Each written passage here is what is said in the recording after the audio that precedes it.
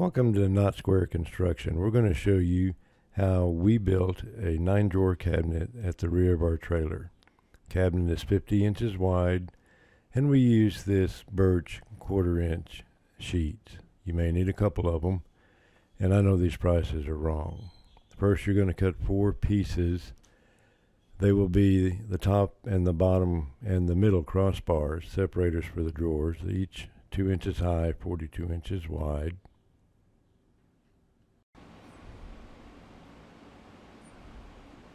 These are going to hold up the drawer separators. You want two 32 inches high and 4 inches wide, one on each end. Now ours came out to be exactly 50 inches, so yours may vary. This is the final product that you're going to be getting. You want the two on the side, the four runners across, and drawer separators in the middle.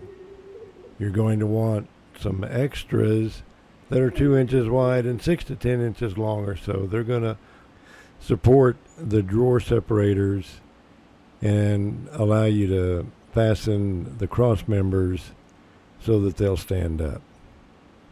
Here you can see a better picture of the extra pieces. These are the pieces of wood that you should have cut by now.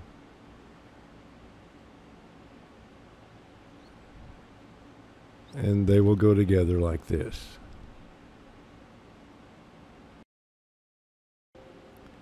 And now for the back.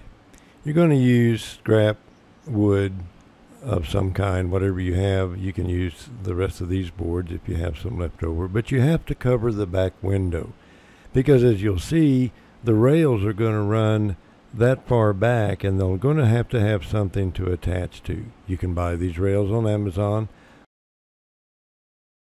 and you may need to get the extensions that I've used here because the rail probably won't go all the way to the back. If you have any questions or comments, please let us know. And now for the drawers. The drawers for me were the most difficult part. You see, you have nine of them and they need to be identical. Each of the runners will hold a drawer our drawers ended up being eight and a half inches wide by thirteen and a half inches deep. The runners are 14 inches. This is possibly a better illustration of the inside brace and how it connects to the outside frame. Remember you're just building a frame. You don't have the sides to deal with because we're using parts of the RV. So this board in the back can be anything just to hold up the rails. And you can see here the second part, the additional boards that we put on the inside. That one is two inches high, 42 inches long, and behind this right here, there's one of those extra pieces of braces to fasten those two pieces uh, together.